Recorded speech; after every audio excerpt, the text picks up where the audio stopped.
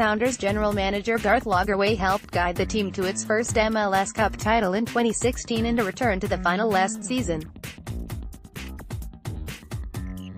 But his Sounders are only now pulling out of a third consecutive poor start to the regular season. Sounders general manager Garth Lagerwey knows he isn't out of the proverbial woods from either a team or job security perspective.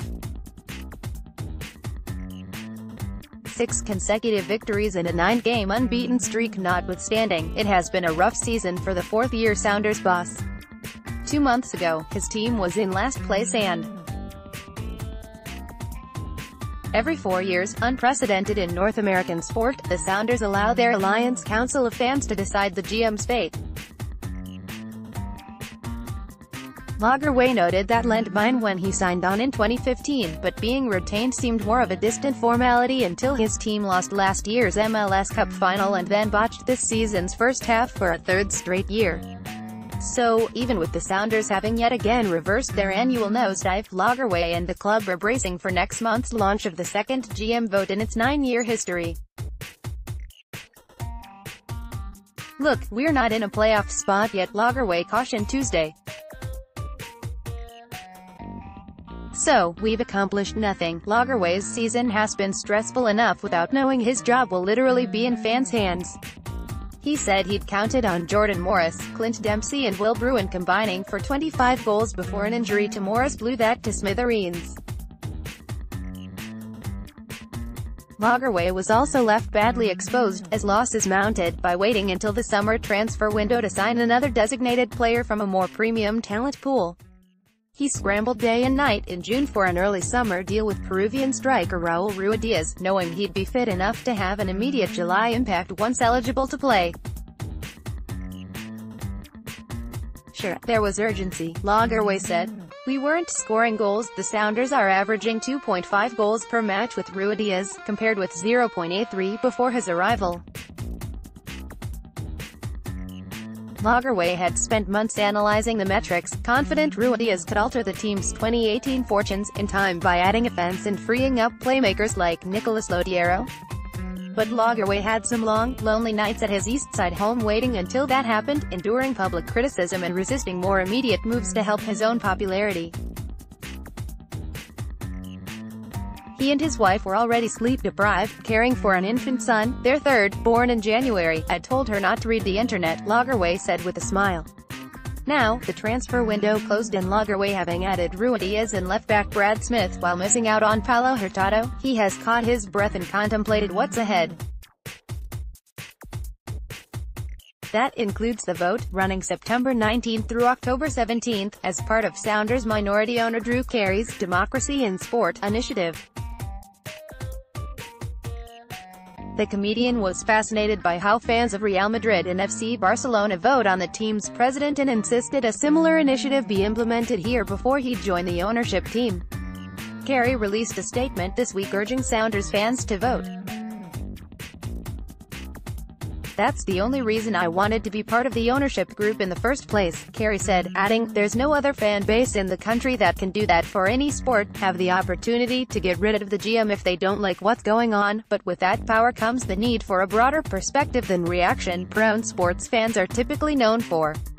Lagerwey is technically correct that his seventh-place Sounders, who play at number 6 Portland on Sunday, have accomplished nothing yet. But that's relative. His broader accomplishments include winning the franchise's only championship in 2016, returning to the MLS Cup final last December and overhauling the team's youth development. You would hope that enough people recognize the track record, he said. But his critics also point out the franchise's original coach, Sigi Schmid, got fired on Lagerwey's watch and that a slew of U.S.